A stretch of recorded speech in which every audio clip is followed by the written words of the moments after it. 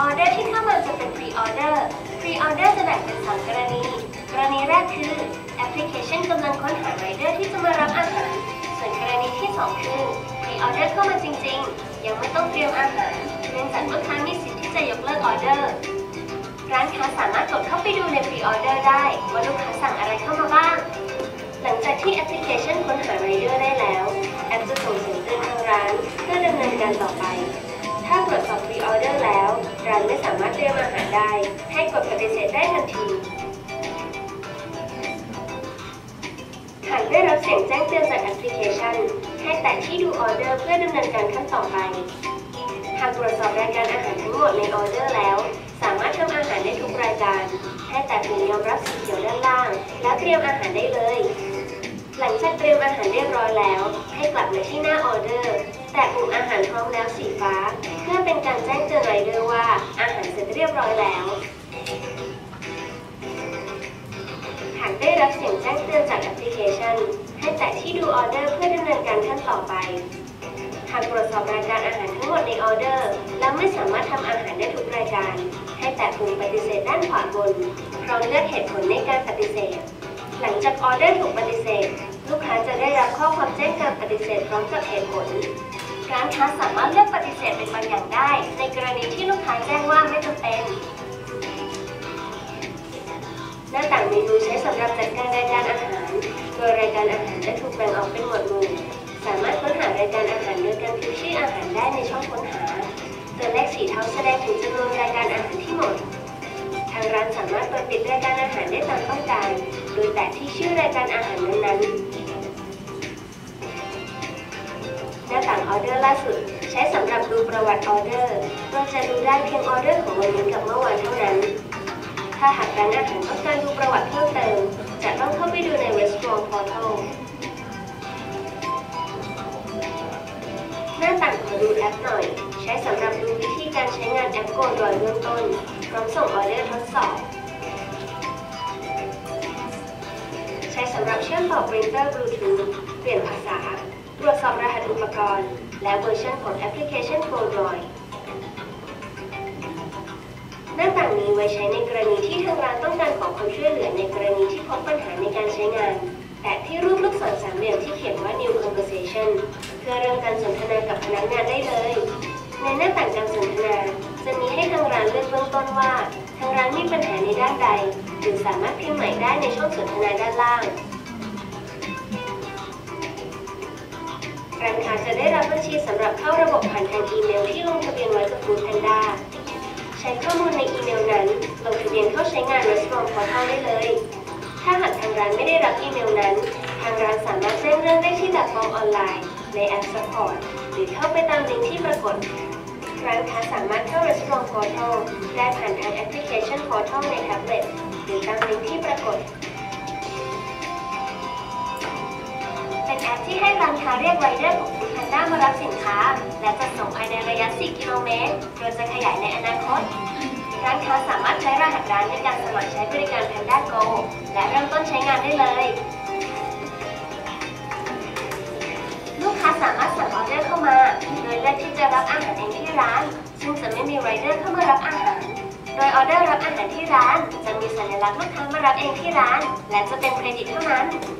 หลังจากยอมรับออเดอร์แล้วตัวแอปจะโชว์ระยะเวลาที่ลูกค้าจะเข้ามารับอาหาร และข้อมูลลูกค้าสำหรับติดต่อในกรณีต่างๆ ถ้าลูกค้ามารับอาหารที่ร้านเรียบร้อย ให้ทางร้านกดปุ่มรับแล้วสีน้ำเงินถ้าครบกำหนดเวลาแล้ว แต่ลูกค้ายังไม่มารับอาหาร ทางร้านสามารถติดต่อลูกค้าได้ แต่ถ้าติดต่อไม่ได้แค่แต่ที่ไม่มีใครรับ หลังจากนั้นให้ร้านค้าเลือกเหตุผลตามสถานการณ์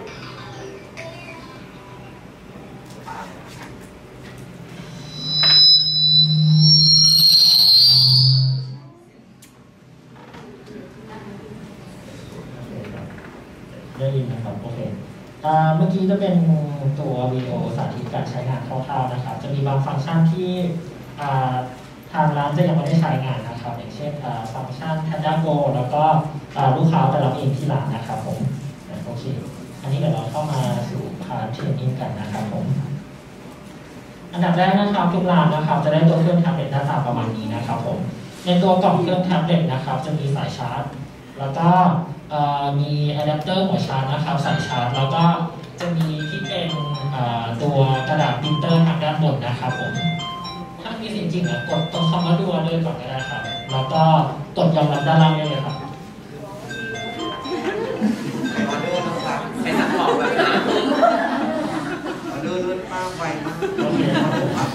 ก็ตัวใบเสร็จนะครับตรงนี้ทางคุณแพนด้าจะมีให้ที่ร้านแค่หมดเดียวนะครับผมตัวใบเสร็จอย่างนี้ใช้ขนาดเดียวกันกับตัวบัตรเครดิตนะครับผมเป็นกระดาษร้อน วิธีการใส่ตัวกระดาษนะครับ จะมีฝาทางด้านบนตรงนี้นะครับให้แต่ละร้านนะครับดึงฝาขึ้นด้านบนนะครับ มันจะเปิดฝาออกมาแบบนี้ แล้วเราก็เอาตัวกระดาษที่มันจะมีสองด้านนะครับ จะเป็นด้านมันกับด้านที่เป็นด้านด้านเราเอาด้านที่เป็นด้านมันนะครับแหงขึ้นด้านบนแล้วก็ปิดตัว อันนี้เลยนะครับ ตัวปรินเตอร์มันจะเชื่อมต่อได้อย่างอัตโนมัตินะครับผม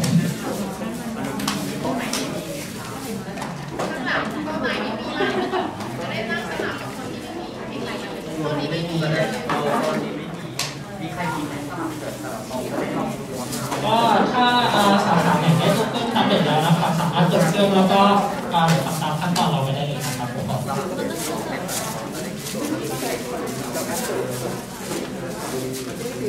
วิธีกดเครับจะมีปุ่มเล็กๆทางด้านซ้ายมือนะครับผมที่เขียนว่า power key กดค้างแล้วก็กด power on ได้นะครับตอบว่าขอสลับคนหนึงมานั่งตรงนี้ได้ไหมสลับคนจ้าของที่มานั่งตรงนี้ได้ไหมลูกน้องง่ายๆยังไงนะได้มานั่งเพื่อจะได้ขอบคุณสลับที่นั่งคนนึงมานั่งตรงนี้อ่าเปิดเครื่องใช่ไหมครับเพื่อจะได้ปุ่มเล็กๆด้านซ้ายมือนะครับที่เขียนว่า power key อันนี้เปิดค้างไว้สักครู่หนึ่งนะครับ เออ ถ้าหน้าจอติด เป็นรูปดอกไม้ครับก็เดี๋ยวเราตรงเครื่องเรารีวิวมาพูดหนึ่งนะครับ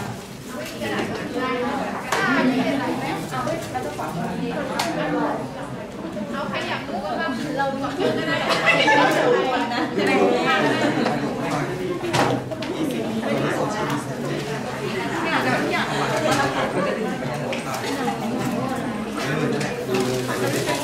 จริงยากไหม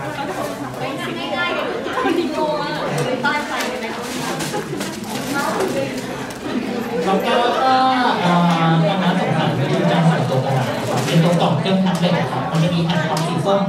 ที่ที่เขียนว่ามีโปรนะครับตรงนั้นมันจะมีขนาดไซส์กระดาษแล้วก็วิธีการใส่ตัวนะครับเราสามารถเปิดแผ่นความดูแล้วก็ใส่ตามรูปภาพได้เลยนะครับ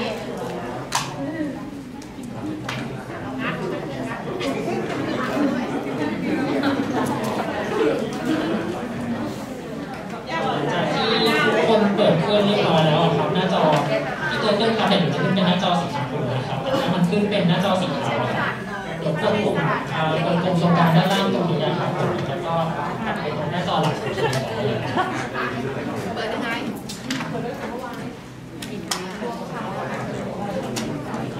ตอนนี้ทุกคนอยู่บนหน้าจอสีชมพูนะครับ อันนี้เดี๋ยวจะอธิบายแอปคร่าวๆที่อยู่ในตัวเครื่องท็บเล็ตก่อนนะครับผม อันแรกก็เลยจะเป็นตัวแอปสีส้มนะครับที่ชื่อว่าโกบอยตรงนี้มันจะเป็นตัวแอปพลิเคชันที่เราใช้รับออเดอร์กับทางฟูดแพนด้านะครับผม เวลาที่ทางร้านเปิดรับออเดอร์ครับ แนะนำให้ทางร้านใช้งานตัวแอปพลิเคชัน GoDroid นะครับ แล้วก็เปิดค้างไว้ตลอดเลยนะครับส่วนซิมเต้เอ่อทางด้านขวานะครับ ตรงนี้มันจะเป็นพวกการ setting ตัว Wi-Fi แล้วก็ตัวบลูทูธนะครับหากตัวปรินเตอร์ทางร้านพิมพ์ไม่ออกครับผมสามารถนั่งปิดตัวบลูทูธแล้วก็เปิดใหม่อีกทีหนึ่งได้เลยนะครับ ตัวเครื่องมันจะเชื่อมต่อตัวบลูทูธให้อัตโนมัตินะครับ แล้วก็ตัว RT Portal อันนี้จะเป็นระบบหลังบ้านของทางร้านนะครับ เข้ามาดูยอดขายการใช้งานนะครับผมแล้วก็ อ่า Panda Pro อันนี้จะเป็นแอปในอนาคตของเรานะครับ ซึ่งตอนนี้จะยังไม่เปิดใช้งานนะครับ ส่วน support ตรงนี้จะเป็นส่งคำร้องขอความช่วยเหลือต่างๆนะครับผมทีนี้เดี๋ยวให้ทุกคนเข้าตัวแอปที่ชื่อว่า GoDroid นะครับแอปที่เขียนว่า GO นะครับ อันแรกเลย โอเคครับ ไหมคะถ้าสมมติว่าตัวเครื่องมันให้เชื่อมต่ออินเทอร์เน็ตนะครับอันนี้เดี๋ยวรบกวนแชร์ hotspot มือถือหรือว่าเชื่อมต่อโทรศัพท์ไปก่อนได้เลยนะครับ เพราะว่าตัวเครื่องนะครับอันนี้สิ่งการมันต้องรอสัญญาณสักครู่หนึ่งนะครับผมวิธีเชื่อมต่ออินเทอร์เน็ตใช่ไหมครับผมอะเดี๋ยวกดเข้าไปตรง setting นะครับผม ที่หน้าจอหลักสีชมพูไปที่ setting นะครับ แล้วก็เลือกไปที่ Wi-Fi ครับผม เ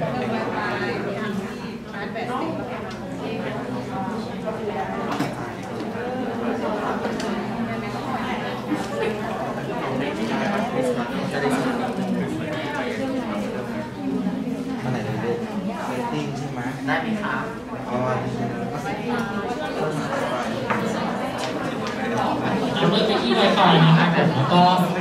กดสแกนด้านล่างนะครับลองลองหาชื่อ Wi-Fi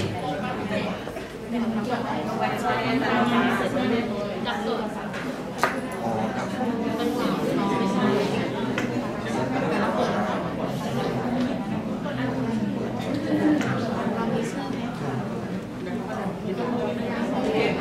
มีใครเข้าไม่ได้ไหมคะ ได้ทุกโต๊ะหรือยัง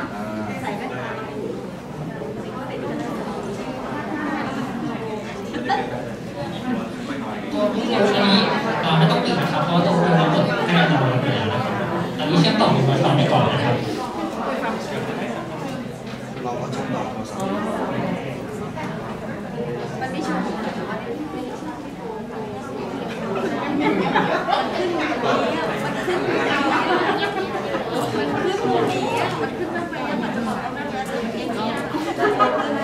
เต็มรหัสไม่ได้ จีจีจีจีมีไม่ได้ไม่ได้มันต้องเล่นเข้าเว็บใช่ไหม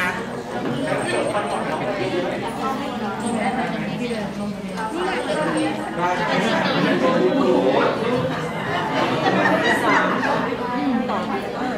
มีโต๊ะไหนยังไม่ได้ไหมคะ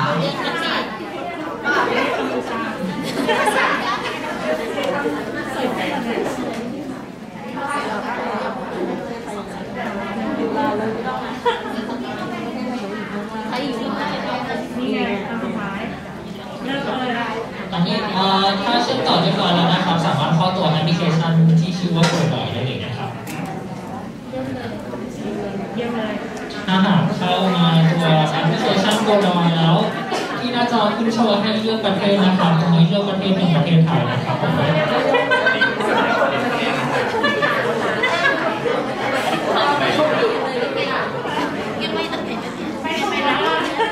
ตรงนี้นะครับเราจะลงทะเบียนใช้งานแค่ครั้งเดี ล้วก็พาสเวิร์ด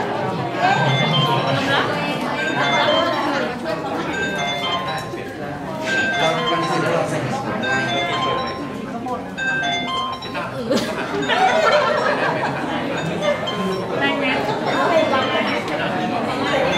โอเคครับอาจจะมีการที่กดลงทะเบียนเลือกเป็นประเทศไทยไปแล้วแล้วก็มันจะมีออเดอร์ทดสอบกลับไปให้ใช่ไหมครับอันนี้จะเป็นออเดอร์ตัวอย่างนะครับ เดี๋ยวกดตรง ว่าดูออเดอร์นะครับแล้วก็กดยอมรับด้านล่างไปก่อนเลยนะครับกดยอมรับได้เลยครับผม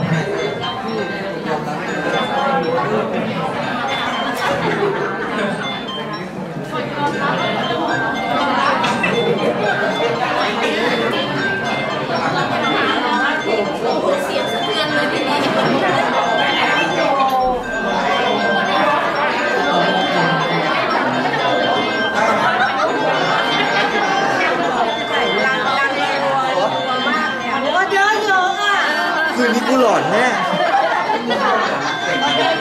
ดึงดึงดึงดึงทั้งคืนแน่วันนี้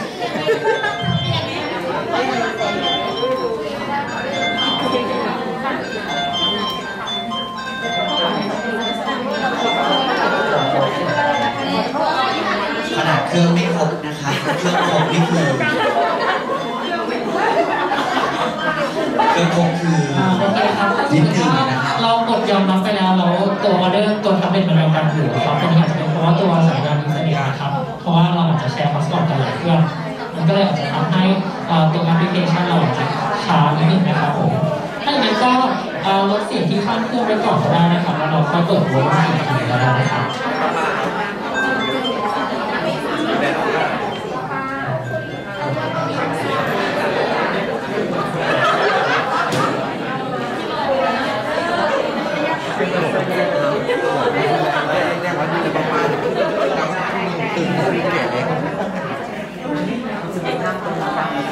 วันนี้ไม่ควรอยู่แล้วอันนี้เอ่อทุกคนเมื่อกี้กดส่งออเดอร์ตัวสองไปเรียบร้อยแล้วนะครับผมอะฟังค่ะเอ่อทุกคนกดลูกศรย้อนกลับที่ด้านบนก่อนนะครับผมอะกดลูกศรย้อนกลับค่ะ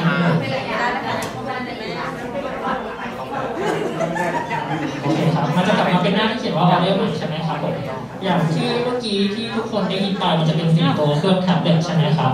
ตรงนั้นนะครับมันจะเป็นเวลาที่ลูกค้าเขาออเดอร์เข้ามานะครับของทางที่ร้านตัวเครื่องเราจะส่งสัญญาณกิ่งแจ้งเตือนไปหมุมื่อสักครู่นี้นะครับผมแล้วก็ที่หน้าจอนะครับมันก็จะขึ้นโชว์มาเป็นคำว่าคุณมีออเดอร์ใหม่แบบนี้นะครับผมหลังจากที่มีเสียงกิ่งแล้วนะครับ ก็ให้ทางที่ร้านนะครับกดตรงคำว่าดูออเดอร์ได้เลยนะครับผมหากทางร้านไม่ได้ดูกดที่ตัวเครื่องทับเลยนะครับผมหน้าจอมันจะขึ้นเป็นสีชมพูแบบนี้นะครับ ก็ให้ที่ร้านแตะที่หน้าจออีกทีนะครับ แล้วก็ กดตรงคำว่าดูออเดอร์ได้เลย หรือถ้าหากไม่มีคำว่าดูออเดอร์นะครับ มันจะมีคำว่าตรงออเดอร์ใหม่ที่เป็นหน้าจอสีชมพูเล็กๆครับผม เราสามารถกดที่ตรงสีชมพูเล็กๆแล้วก็กดดูออเดอร์อีกทีได้เลยนะครับ หลังจากที่ทางร้านกดดูออเดอร์เรียบร้อยแล้วนะครับหน้าจอจะจะขึ้นประมาณนี้นะครับผมตรงนี้นะครับมันจะเป็นรายละเอียดของออเดอร์นะครับ เป็นออเดอร์ลูกค้าเขาออเดอร์เข้ามาที่ร้านนะครับรายละเอียดของ ออออเดอร์มันจะอยู่ที่ตรงนี้หมดเลยว่ามีรายการใดบ้างเป็นราคาเท่าไหร่นะครับผมแล้วก็ก่อนที่ทางร้านจะกดยอมรับออเดอร์ครับตรงนี้อยากให้ทุกร้านอ่าทางร้านนะครับเช็คตัวออเดอร์ก่อนทุกครั้งนะครับ ถ้าออเดอร์ที่ลูกค้าเขาออเดอร์เข้ามาครบทุกรายการตรงนี้เรากดปุ่มยอมรับที่ด้านล่างนะครับที่เป็นตัวสีเขียวแล้วก็เริ่มเตรียมอาหารในเอ่อเริ่มเตรียมสินค้าได้เลยนะครับเดี๋ยวจะมีทางไรเดอร์เข้ามาอาหารกับทางที่ร้านนะครับผม แล้วก็ตรงนี้นะครับผมอย่างที่ทุกคนเห็นด้านบนมันจะมีคำว่าออเดอร์ครับ15 ใช่ไหมครับอันนี้ก็เป็นตัวรหัสออเดอร์นะครับเวลาที่ทางไรเดอร์เข้ามารับอาหารนะครับผมแล้วก็โชว์ตัวรหัสออเดอร์ตรงนี้นะครับผมที่ด้านล่างตรงนี้มันจะมีทั้งหมด8ตัวนะครับผมสี่ตัวแรกจะเป็นรหัสร้านค้านะครับจะเหมือนกันทุกทุกรอบนะครับผมแล้วก็สี่ตัวหลัง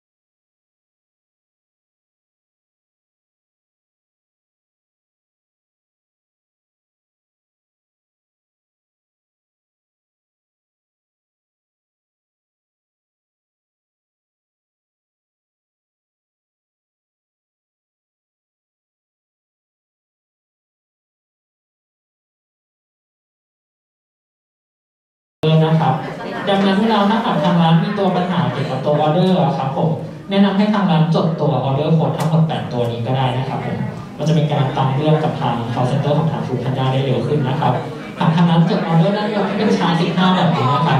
เวลาที่ทาง Food Panda ตามเรื่องเผื่อออเดอร์มีปัญหาครับผมเขาจะไม่สามารถตามออเดอร์ได้ทันนะครับเพราะว่าตัวระบบเราจะแท็กแค่ทั้งหมด8ตัวตรงนี้นะครับ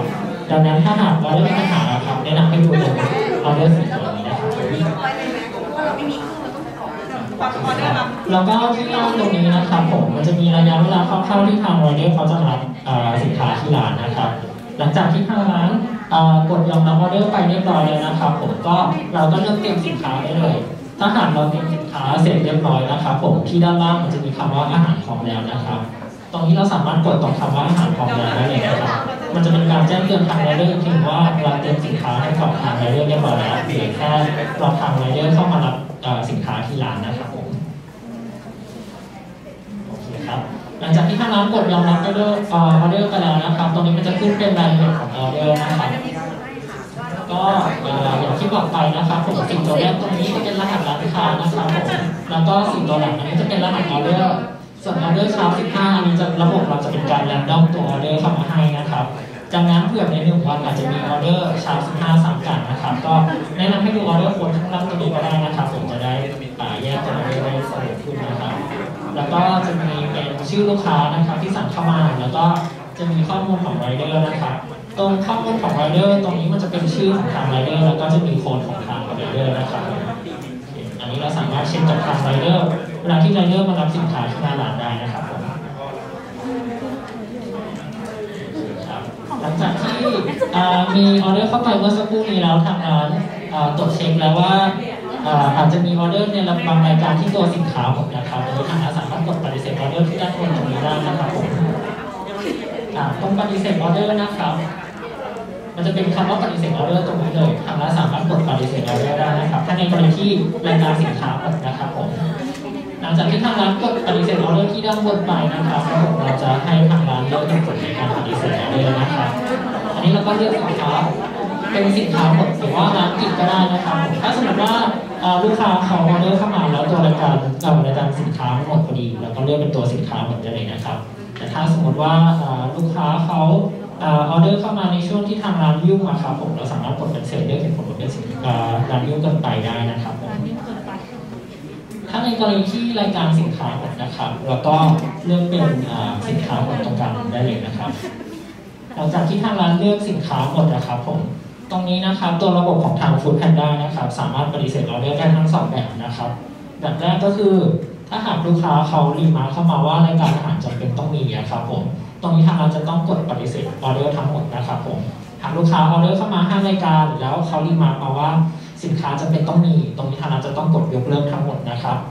แต่ถ้าหากลูกค้าเขารีมาร์คมาว่าไม่จำเป็นนะครับผมจะเห็นตรงนี้ที่เขียนด้านหลังตัวเมนูนะครับ ว่าไม่จำเป็น ตรงนี้ทางร้านสามารถกดปฏิเสธแยกรายการอาหารได้นะครับ ถ้าอย่างในตัวอย่างนะครับลูกค้าเขาออเดอร์เข้ามาทั้งหมด 5 รายการใช่ไหมครับ มี 2 รายการที่ลูกค้าเขารีมาร์คมาว่าไม่จำเป็น ถ้าสมมติว่า 2 รายการนี้ทางร้านสินค้าหมดพอดีอ่า แล้วก็เลือกเป็นปฏิเสธออเดอร์สองรายการนี้นะครับผมแล้วก็สามรายการที่เหลือทางร้านสามารถรับสินค้าได้เลยนะครับ แล้วก็เดี๋ยวจะมีไรเดอร์เข้ามารับนะครับผมตอนนี้สงสัยวิธีในการปฏิเสธออเดอร์ไหมครับโอถ้าเขา remark มาแต่ยังมีหนึ่แล้วกันนะครับถ้าเขา remark มาว่าจำเป็นต้องมี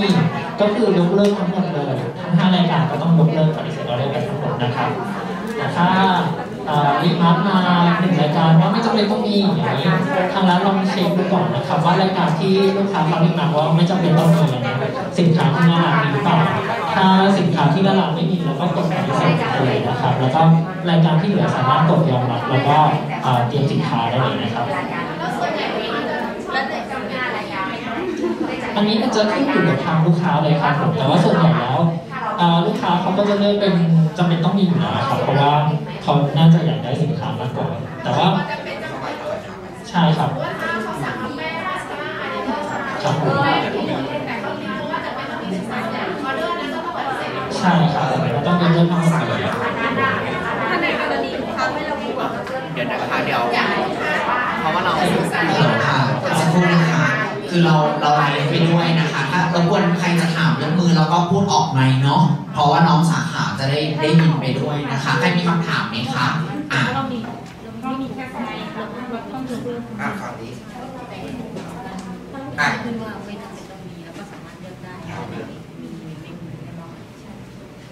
อ๋อในในกรณีที่อ่าลูกค้าสั่งสินค้าอย่างอย่างถ้าสมมติว่า 5 รายการ ถ้าเป็นกรณีที่ มาร์กว่าไม่จำเป็นนะคะครับผมแต่ถ้าเราทางร้านเรามี ครับ แต่ตัวที่ไอ้ไม่ได้มาร์กว่าอ่าที่ว่าจำเป็นนะถ้ามันหมดอะทำยังไงคะถ้าเขาก็เราก็เลือกเป็นรายการที่หมดนะครับผมแล้วก็กดปฏิเสธด้านล่างนะครับ อ๋อให้กดใช่ ทิ้งหมดเลยถ้าสมมติว่าลูกค้าเขาไม่ได้มาเพราะว่าจำเป็นต้องมีใช่ไหมครับผมค่ะอ่าอันนี้ทางเราสามารถกดปฏิเสธแยกรายการได้ครับ แต่ถ้าเขา remark ด้านหลังมาว่าจำเป็นต้องมีก็คือ อ่าสมมติแต่นะคว่ารับแต่ว่ามันไม่มีถ้าถ้าสมมติว่ายังไงนะครับ ถ้าเขาไม่ได้ remark ด้านหลังมาว่า ไม่จำเป็นต้องมีใช่ไหมค่ะครับถ้าเขาไม่ได้รีมาร์กมาด้านหลังว่าเป็นจำเป็นต้องมีอะครับ ตรงนี้กดยกเลิกทั้งหมดได้เลยครับผม อ๋อก็คือใช่ แต่ถ้าเขา remark ด้านหลังมาว่าไม่จำเป็นต้องมีอะครับ แล้วรายการนี้หมดพอดี แล้วก็เลือกที่รายการนี้นะครับ แล้วก็กดปฏิเสธออเดอร์ได้เลย ส่วนรายการที่เหลือครับ เรากดยอมรับออเดอร์ได้เลยนะครับ ก็คือระบบมันจะให้เราเลือกตัวรายการอาหารที่หมดใช่ไหมครับผมอ่า ถ้าในตัวอย่างใช่ไหมครับมีต้มยำกุ้งแล้วก็ข้าวเหนียวที่ไม่จำเป็นต้องมีใช่ไหมครับ แล้วสมมติว่าหากทางร้านเช็คแล้วว่าตัวต้มยำกุ้งทางร้านหมดพอดี ตรงนี้ครับทางร้านสามารถกดคำว่าต้มยำกุ้งนะครับ แล้วก็กดยอมรับออเดอร์ยอมรับแล้วก็อัปเดตรายการอาหารได้เลยนะครับส่วนออถ้ากรณีที่ข้าวผัดไม่มีล่ะคะถ้าตัวที่รายการข้าวผัดไม่มีใช่ไหมครับแล้วลูกค้าเขารีมาร์กมาไม่ได้รีมาร์กมาว่าไม่จำเป็นต้องมี ก็เท่ากับว่าลูกค้าก็จะต้องยกทางร้านก็จะต้องยกเลิกทางออเดอร์นะครับใช่ครับตอนนี้มีคำถามอะไรไหมครับเรื่องการปฏิเสธออเดอร์ใครมีคำถามไหมคะ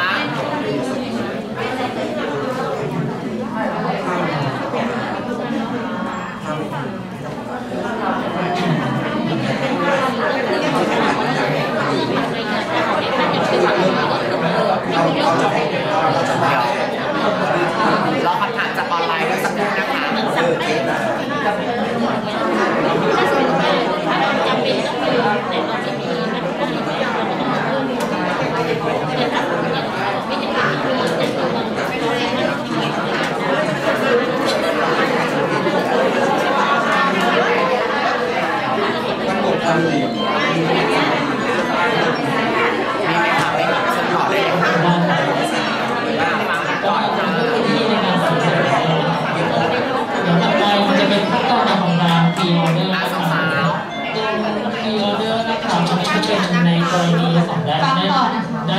กรณีนะครับผม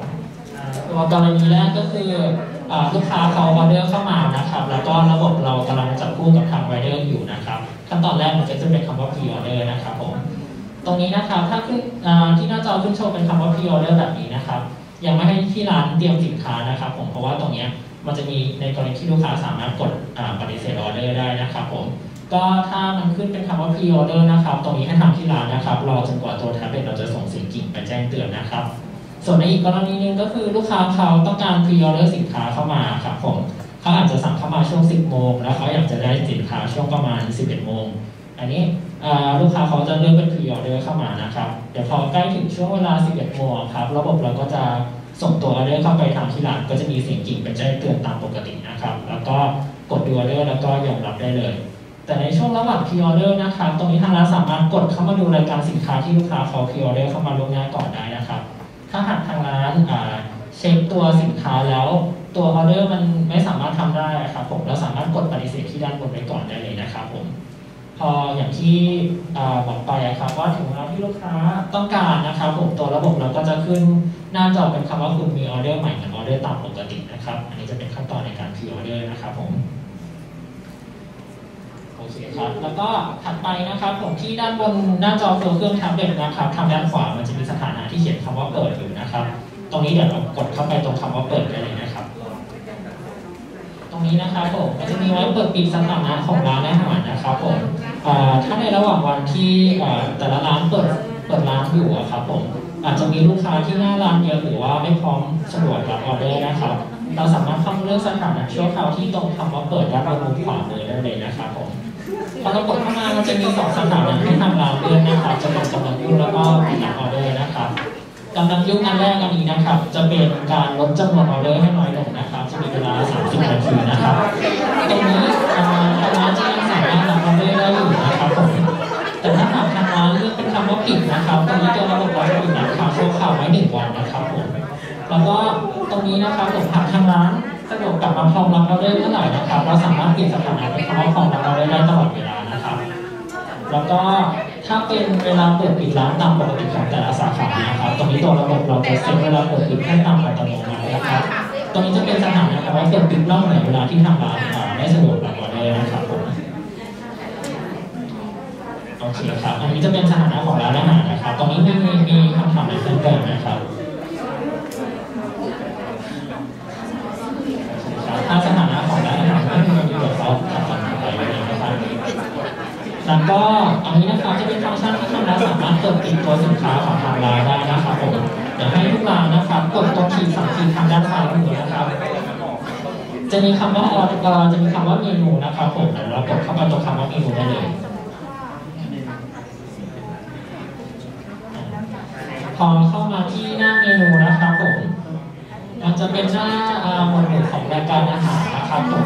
ทีนี้มันจะระบบของเราอะครับมันจะแบ่งตามหมวดหมู่แคตตากรีของรายการสินค้าที่ร้านนะครับแต่เราลองกดเป็นตัวสินค้าอันใดหนึ่งไปก่อนก็ได้นะครับกดเลยกดเลยก่อนได้เลยถ้ามันขึ้นให้ค้นหาครับแต่แถบค้นหาอีกทีนะครับเป็นตัวแถบค้นหาดับไปก่อนนะครับ อ่าถ้าอย่างในตัวหน้าเมนูใช่ไหมครับมันจะมีเขียนเป็นวิตามินแล้วก็อาหารเสริมใช่ไหมครับผลิตภัณฑ์ดูแลร่างกายต่างๆ ตรงนี้มันจะแบ่งตามหมวดหมู่ให้แต่ละรายนะครับ เพื่อให้เราสามารถเข้ามาปิดตัวรายการสินค้าได้สะดวกขึ้นนะครับ เดี๋ยวเราลองกดเป็นตัววิตามินไปก่อนได้เลยนะครับ พอเรากดเข้าไปที่ตัววิตามินนะครับผม มันจะขึ้นหน้าจอเหมือนในโปรเจคเตอร์ใช่ไหมครับอะ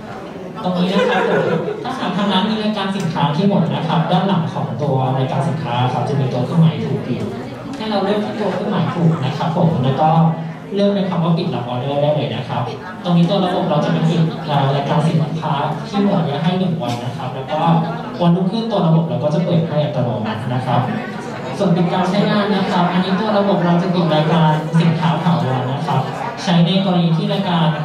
อาจจะมีสินค้าที่อาจจะไม่ได้เข้าทำที่ร้านชั่วคราวนะครับหรือว่าอาจจะยกเลิกการขายไปแล้ว เราสามารถเข้าเลือกปิดการใช้งานได้นะครับผมตรงนี้ตัวระบบเราจะปิดให้ถาวรนะครับผมแล้วก็หากทางร้านมีสินค้ากลับเข้ามาพอดีอะครับผมแล้วอยากจะกลับเข้ามาขายใหม่เราสามารถเปิดเป็นคำว่าพร้อมรับออเดอร์ได้ตลอดเวลานะครับผมปิดขาอะคือปิดตรงหน้าเมนูนะครับมีใครถามอะไรสงสัยนะครับเรื่องตรงนี้ มีไหมครับมี ใครมีคำถามไหมงงไหมครับมีคำถามดูไหมไหมอยากให้ทำเป็นแบบ center อะอะอันนี้ก่อนเป็น center เสียงมันเต็มพี่อยากจะสอบถามว่าไอ้ตรงคำว่าปิดรับออเดอร์กับปิดการใช้งานนะคะต่างกันยังไงอะคะตัวปิดรับออเดอร์ อันนี้ระบบเราจะ reset ให้ในวันรุ่งขึ้นนะครับผมใช้ในกรณีที่รายการสินค้าอาจจะมีขายที่หน้าร้านทุกวันนะครับผมไม่ได้สินค้าขาดสต็อก วันรุ่งขึ้นสินค้าก็ยังคงมีอยู่นะครับ เราสามารถเลือกได้คำว่าปิดการเอ่อปิดรับออเดอร์ได้นะครับผม ปิดหมายถึงปิดในรายการนั้นๆอะนะคะใช่ครับ แต่ทั้งๆที่เรามีสินค้าอยู่ทำไมเราถึงจะต้องปิดรับออเดอร์ในกรณีไหนอะคะ ถ้าปิดรับปิดรับออเดอร์ใช่ไหมครับ ใช่ค่ะ เราจะปิดในกรณีที่รายการสินค้าที่หน้าร้านหมดนะครับผมถ้าสมมติว่า ปิดการใช้งานในรายการนั้นๆเหรอคะใช่ครับปิดในรายการนั้นนะเช่นสมมติว่าเราเลือกเป็นตัวไส้กรอกจัมโบ้ชีสใช่ไหมครับ วันนี้ไส้กรอกจัมโบ้ชีสหมดพอดี เราเลือกเป็นคำว่าปิดรับออเดอร์ได้เลยครับ วันนี้ตัวเมนูจัมโบ้ชีสมันจะปิดให้หนึ่งวันครับ แล้วก็วันรุ่งขึ้นจัมโบ้ชีสตัวเนี้ยมันก็จะเปิดให้อัตโนมัติแต่ถ้าสินค้าเรารู้คร่าวๆว่าน่าจะปิด 5 วันเอ้ยอาจจะสินค้าไม่มีเลยประมาณ 5 วัน 10 วันแล้วก็ปิดการใช้งานของรายการนั้นไปเลยใช่ไหมคะใช่ครับ แล้วพอสมมติว่าสินค้าเข้ามาทุกวันจันทร์ใช่ไหมครับแล้ว รายการสินค้าหมดวันพุธพอดี เราเลือกเป็นคำว่าปิดการใช้งานไว้ก่อนได้เลยครับ ตรงนี้ตัวระบบมันจะปิดให้ถาวรเลย แล้วพอวันจันทร์สินค้าเข้ามาพอดีครับ เราค่อยเปลี่ยนเป็นคำว่าของรับเดอร์อีกทีนะครับ ตัวระบบมันจะเปิดเป็นให้นะครับผมแล้วตรงนี้นะครับมันจะมีไว้ให้สะดวกก่อนว่าถ้าสมมติว่าอะฟังก่อนนะคะก่อนเริ่มแจ้งเข้ามาก่อนเป็นรายการว่ารายการนี้ไม่ได้ขายชั่วคราวครับ ระบบเราจะลบตัวเมนูนี้ออกไปเลย ดังนั้นถ้าหากทางร้านในรายการสินค้าที่มันสามารถเข้ามาเป็นสินค้าต่อเนื่องต่อเนื่องได้ครับ เราก็เลยเลือกมีเป็นคำว่าปิดการใช้งานให้ทางร้านได้สะดวกขึ้นนะครับผมสถานย้อนไปนิดนึงอะค่ะเกที่บอกว่าถ้าเราไปเลือกสถานที่ว่ายุ่งกับครับอีกอันหนึงอะค่ะ คือมันจะต้องปิดวันหนึ่งอะค่ะวันรุ่งขึ้นถึงจะ หรือว่าเราเข้าไปติ๊กว่าเราเลิกยุ่งได้อันนี้สามารถเลือกติดติดเป็นพร้อมรับออเดอร์ได้ตลอดเวลาครับผมอย่างเช่นสองสถานะที่เรามีไว้เมื่อสักครู่หนึ่งใช่ไหมครับ เป็นกำลังยุ่งแล้วก็ปิดใช่ไหมครับ ถ้าหากทางร้านเลือกเป็นกำลังยุ่งไว้อะครับผมตรงนี้ตัวระบบเราจะคำนวณเวลาไว้ให้ 30 นาทีนะครับ พอครบเวลากำหนด 30 นาที ตัวระบบเราจะเปิดเป็นคำว่าพร้อมรับออเดอร์ให้ แต่ถ้าหากทางร้านอาจจะสะดวกเร็วกว่า 30 นาที เราสามารถเปลี่ยนคำว่าพร้อมรับออเดอร์ได้ตลอดนะครับผมแล้วก็ ตรงกำลังยุ่งอะครับอันนี้ก็คือระบบเราจะยังเปิดร้านให้ตามปกตินะครับ แค่เราจะลดจำนวนออเดอร์ให้น้อยลงลูกค้าอาจจะหาร้านสินค้าได้ยากขึ้นอย่างนี้ยครับ แต่ว่าถ้าหากลูกค้าเขาพิมพ์ชื่อว่า beauty buffet เขาอาจจะสามารถสั่งเข้ามาได้โดยตรงนะครับผมโอเค อันนี้ก็เป็นสำหรับเผื่อเวลาเราไปเบรกสำหรับร้านที่วันไหนอยู่คนเดียวอะนะคะใช่ครับในช่วงเวลาไปเบรกต่อไปเราก็จะได้รู้รู้เนาะ ว่ามีในส่วนตรงนี้เนี่ยจากช่วงเวลาการเบรกของพนักงานนะคะครับผมถ้าสมมติว่าทางร้านเบรกอะครับแล้ววันนี้อาจจะเข้าร้านแค่คนเดียว ไม่สะดวกรับออเดอร์นะครับ เราเลือกเป็นคำว่าปิดไปก่อนได้นะครับผมแล้วก็พอทางร้านหมดเวลาพักเบรกแล้วกลับมาขายที่หน้าร้านแล้ว เราสามารถเปลี่ยนเป็นคำว่าพร้อมรับออเดอร์ได้นะครับระบบเราจะเปิดร้านให้อีกทีนึงนะครับผม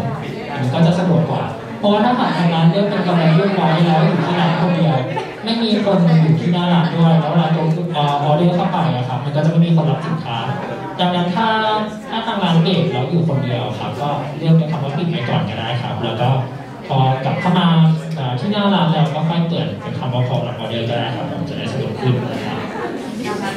ใครมีคำถามไหมคะ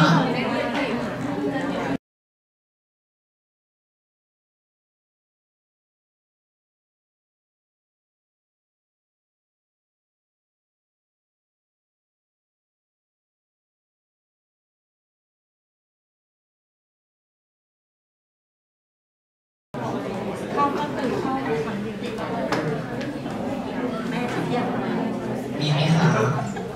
อ่าไม่มีให้พี่เขารันต่อนะคะ ครับถัดไปตัวรายการปิดตัวรายการสินค้านะครับผมก็อย่างที่บอกนะครับ ถ้าสมมติว่าเอ่อสินค้าเราเข้ามาทุกวันจันทร์พอดีแล้วรายการสินค้าหมดก่อนหน้านั้นนะครับ ก็เลือกเป็นคำว่าปิดการใช้งานก็ได้นะครับผมเพราะว่าปก โดยปกติแล้วครับคุณน่าจะเป็นการรับส่งอาหารใช่ไหมครับ ดังนั้นรายการอาหารของแต่ละร้านนะครับ มันก็จะสินค้ามันก็จะหมดไม่เหมือนกัน เราก็เลยให้เขาเลือกเป็นคำว่าปิดรับออเดอร์นะครับ ส่วนถ้าเป็น store แบบนี้นะครับผมโอเคแล้วเรามีรายการสินค้าที่เป็นสต็อกไว้อยู่แล้วใช่ไหมครับ ถ้าหากเกิดสินค้าหมดสต็อกพอดีอะครับ เราก็เข้าเลือกเป็นคำว่าปิดการใช้งานนะครับ พอสินค้าเข้ามาเติมสต็อกพอดีแล้วก็ให้เปิดเป็นคำว่าพร้อมรับออเดอร์ก็ได้ครับผม เพราะว่าหากทางร้านมีตัวรายการสินค้าที่หมดนะครับแล้วไม่ได้มากดปิดไว้แล้วลูกค้าออเดอร์เข้ามานะครับอันนี้ทางร้านก็จะต้องกดปฏิเสธออเดอร์เหมือนที่แจ้งไปเมื่อสักครู่นี้นะครับผมดังนั้นถ้าหากทางร้านเช็คที่ store แล้วว่าอาจจะมีสินค้านี้อาจจะพอขายแค่เฉพาะหน้าร้านนะครับ ไม่พอขายกับฟู้ดแพนด้าเราสามารถเลือกเป็นคำว่าปิดการใช้งานไว้ก่อนก็ได้นะครับ แล้วพอสินค้าเข้ามาเติมพอที่จะขายได้ทั้งสองช่องทางแล้วก็เข้ามาเปิดอีกคำว่าพร้อมรับออเดอร์ก็ได้นะครับ จะได้ตัดปัญหาเรื่องการปฏิเสธออเดอร์ไปนะครับผมโอเคครับหน้าถัดไปเดี๋ยวทุกคนย้อนกลับไปที่ด้านบนนะครับผม แล้วก็กดที่ขีดสามขีดด้านซ้ายมือนะครับ จะมีคำว่าออเดอร์ล่าสุดนี้นะครับผมโอเคครับตรงหน้าออเดอร์ล่าสุดนะครับ ตรงนี้มันจะเป็นหน้าที่เอาไว้เก็บประวัติของทางร้านนะครับ ว่าทางร้านรับออเดอร์ไปทั้งหมดกี่รายการนะครับ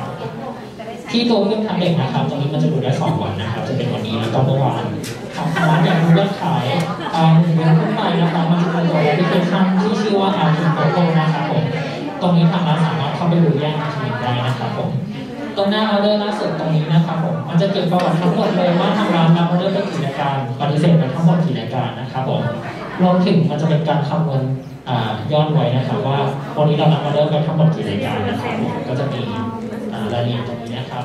หากทางร้านอยากกดเข้าไปดูตรงออเดอร์ที่ทางร้านกดปฏิเสธไปอะครับ เราสามารถกดเข้าไปที่ตัวออเดอร์ได้เลยนะครับผม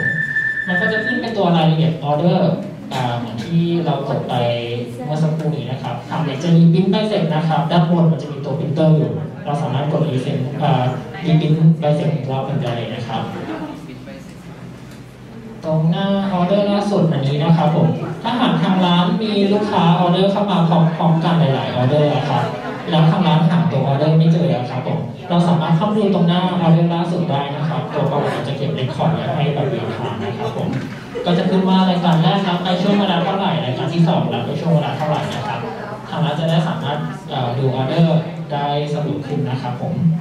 ส่วนตรงหน้าออเดอร์ล่าสุดตรงนี้มีคำถามไหนไหมครับครับถ้าถ้านมีเดี๋ยวผมข้ามถัดไปนะครับผมแล้ว ก็ทีนี้เดี๋ยวให้ทุกคนกดตรงขีดสามขีดอีกทีหนึงนะครับ ที่ด้านล่างจะมีคำว่าต้องการความช่วยเหลืออยู่นะครับผมด้านล่างสุดเลยตอนนี้เรากดเข้าไปได้เลยนะครับ ตรงนี้นะครับผมมันจะเป็นฟังก์ชันของทางฟูดแพนด้านะครับเพื่อให้ทางร้านสามารถติดต่อกับทางฟูดแพนด้าได้โดยตรงนะครับหากทางร้านเกิดมีปัญหาเกี่ยวกับตัวออเดอร์ตัวแท็บเล็ตหรือว่าปัญหาอื่นๆนะครับผมเราสามารถติดต่อทางทางช่องไลน์แชทตรงนี้ได้เลยนะครับ จะมีทีมพนักงานตอบข้อความให้ตลอด 24 ชั่วโมงนะครับผม โดยกดตรงคำว่าที่ conversation นะครับแล้วเราก็สามารถพิมพ์ข้อความที่ด้านล่างได้เลยนะครับเดี๋ยวจะมีการพิมพ์ข้อตอบข้อความให้อีกทีนะครับผมแล้วก็ตัวระบบเราอะครับมันมีแรนดอมปัญหาต่างๆ ที่เราควบคุมบ่อยๆนะครับผมถ้าหากทางร้านปัญหาที่ทางร้านเกิดขึ้นณตอนนั้นนะครับมันไม่มีในช่องแชทประมาณนี้ใช่ไหมครับ เราสามารถพิมพ์ข้อความทิ้งไว้ได้เลยนะครับเราเดี๋ยวจะมีทาง ทีมเขามาตอบข้อความให้นะครับผมตรงนี้ทางร้านไม่ต้องกลัวนะครับ ว่าถ้าพิมพ์ข้อความไปแล้วจะไม่เห็นตัวเครื่องแท็บเล็ตนะครับถ้าหากทางร้านกดเข้าไปตรงที่หน้าออเดอร์หรือว่าตรงหน้าเมนูอะครับผมเรามีพนักงานตอบข้อความมา มันจะมี pop-up เด้งขึ้นมาที่หน้าจอด้านล่างนะครับเหมือนเราใช้ pop-up ของ Messenger อะครับผมมันจะขึ้น pop-up เด้งขึ้นมาตรงนั้นได้เลย ก็สามารถพิมพ์ตอบโต้กับพนักงานได้เลยนะครับ ปัญหาที่เยอะสุดใช่ไหมครับผมก็อาจจะเป็นเรื่องที่เตรียมอาหารเรียบร้อยแล้วแล้วไรเดอร์ไม่มารับสักทีอะไรอย่างเงี้ยครับผมอันนี้จะเป็นปัญหาหลักๆแล้วก็ปัญหาหลักๆอีกอันหนึ่งก็คือเตรียมอาหารไปเรียบร้อยแล้วลูกค้าเกิด cancel ถ้าเกิดปัญหาแบบนี้ครับผมเราเตรียมสินค้าไว้เรียบร้อยแล้วแล้วลูกค้าเกิด cancel พอดีเรากดยอมรับไปแล้ว ตรงนี้ทางฟู้ดแพนด้ารับผิดชอบค่าใช้จ่ายให้ทั้งหมดนะครับผมเราจะไม่รับผิดชอบค่าใช้จ่ายให้ในกรณีที่เป็นสินค้า pre-order แล้วทางร้านเตรียมอาหารไว้เรียบร้อยแล้ว เกิดลูกค้า cancel ตรงนี้ทางฟู้ดแพนด้าจะไม่รับผิดชอบให้นะครับ เราจะรับผิดชอบให้ในกรณีที่ทางร้านกดยอมรับสินค้าไปแล้ว แล้วเกิดลูกค้า cancel นะครับผมอันนี้เรารับผิดชอบให้เต็มจำนวนนะครับผมถ้าหากทางร้านเกิดปัญหาแบบนี้ครับผมแนะนำให้จดตัว order code ไว้นะครับทั้งหมดแปดตัวที่ผมแจ้งไปสี่ตัวแรกจะเป็นรหัสร้านค้า แล้วก็สี่ตัวหลังจะเป็นรหัสออเดอร์นะครับ เวลาที่ทางฟู้ดแพนด้าตามเรื่องให้นะครับเขาจะได้ตามตัว order code อ่า ได้ตรงได้เร็วขึ้นนะครับผมครับตรงนี้ใช่ไหมครับผมกดตรงคำว่า new conversation นะครับผมเราจะเล่นกลับเข้มาเป็นอันนี้เลยถ้าสมมติว่ามันไม่ได้ขึ้นที่หน้าจอแบบนี้ครับผมเราสามารถกดเลือกเป็นภาษาไทยไปก่อนก็ได้ครับแล้วก็ระบบเราอาจจะแรนดอมให้นะครับอาจจะไม่ได้ขึ้นทุกเรื่อนะครับผมแล้วก็สามารถพิมพ์ข้อความตามปกติ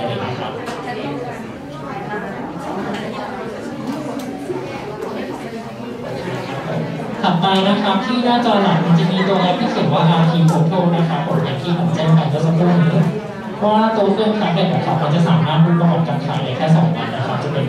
วันนี้แล้วก็เมื่อวานแต่ถ้าหากทางร้านอยากจะดูยอดขายอ่า30วันขึ้นไปอะครับหรือว่าอยากจะดู report การขายของ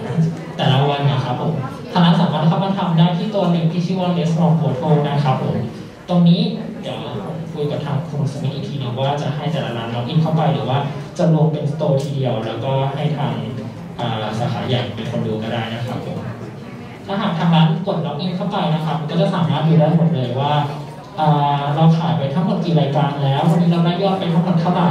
มีรายการไหนที่กดปฏิเสธบ้างนะครับผมก็คือสามารถเข้าดูตรงอ่า portal ได้เลย ใช่ครับถ้าหากทางร้านแต่ละสาขาครับอยากดู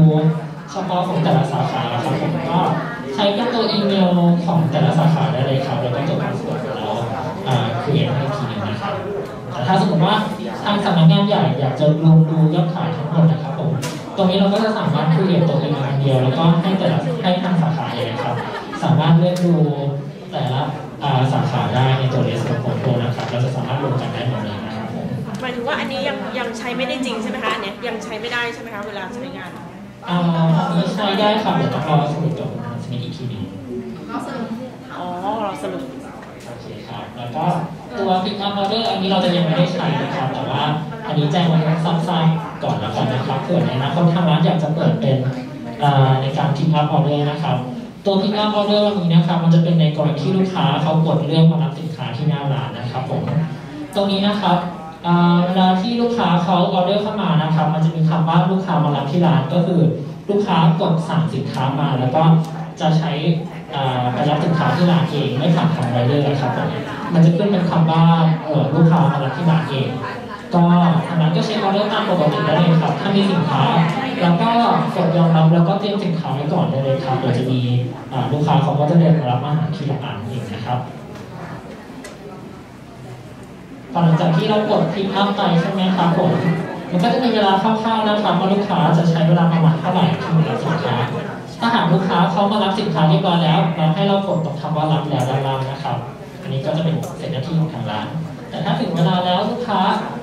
ยังไม่เข้ามาที่ร้าน มันจะมีเบอร์โทรศัพท์แล้วก็ชื่อของลูกค้านะครับตัวนี้เราสามารถติดต่อกับลูกค้าได้นะครับผม หากลูกค้าเขากำลังอยู่ในขั้นตอนของการเดินทางครับ แล้วก็ตัวนี้ค้างไว้ก่อน แต่ถ้าสมมติว่าเราติดต่อลูกค้าแล้วลูกค้าไม่รับสายหรือติดต่อไม่ได้ครับ ลูกค้าไม่มาตามเวลาที่แจ้งไว้ ให้ทางร้านกดตรงคำว่า ไม่มีใครรับด้านล่างนะครับ แล้วเราก็เริ่มเห็นผลตามสถานการณ์นั้นได้เลยนะครับผมตรงนี้จะยังไม่ได้เปิดใช้งานนะครับ เพราะว่าของตัว Beauty Buffet อันนี้จะเป็นผ่านทางไรเดอร์อย่างเดียวนะครับผมโอเคครับแล้วก็ถ้าหากแต่ละสาขานะครับมีปัญหาเกี่ยวกับตัวเครื่องนะครับผมติดต่อผ่านทางช่อง LINE chat ที่ตัวเครื่องแอป GoDroid ได้เลยนะครับ จะมีทีมตอบข้อความให้ตลอด24ชั่วโมงนะครับตามที่แจ้งไปนะ ครับผมโอเคครับตรงนี้มีคำถามอะไรเพิ่มเติมเกี่ยวกับตัวแอปพลิเคชัน foodpanda ไหมครับ ตอนนี้จะไม่มีเป็นเบอร์โทรครับ เราจะใช้เป็นช่อง LINE chat อย่างเดียวนะครับผม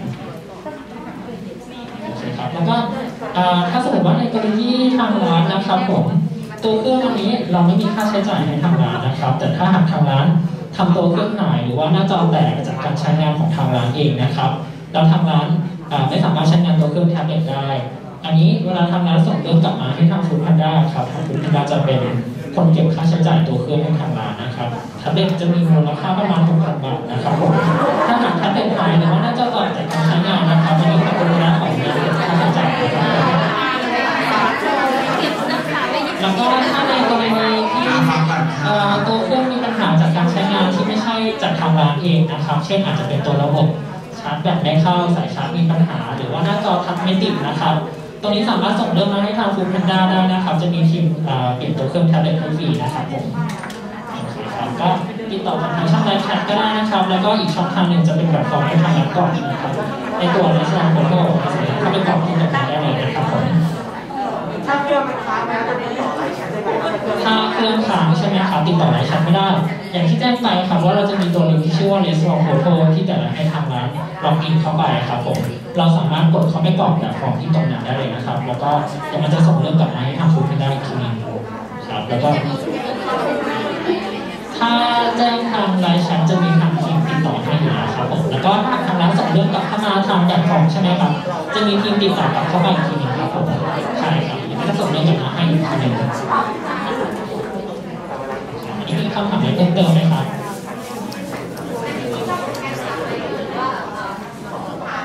อันนี้เราจะมีช่วงเอ่อแชทกับทางลูกค้านะครับผมถ้าหากทางร้านอยากจะติดต่อกับทางฟู้ดแพนด้าครับผมอันนี้แนะนำให้ติดต่อผ่านทางไลน์แชทก็ได้นะครับ เพราะว่าทางร้านจะไม่สามารถติดต่อกับลูกค้าได้โดยตรงนะครับรวมถึงติดต่อกับทางไลน์ด้วยได้นะครับ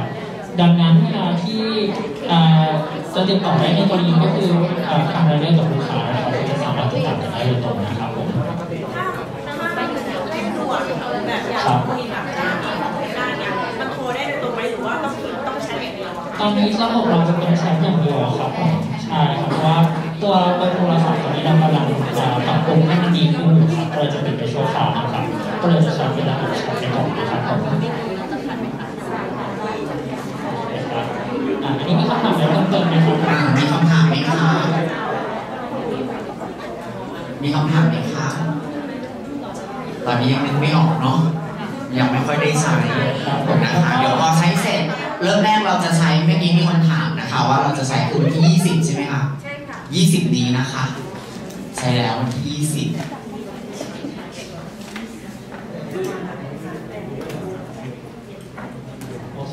ถ้าอันนี้ไม่มีคำถามเลยก็จบการใช้งานเพื่อนเมื่อกี้ตรงนี้นะครับขอบคุณค่ะ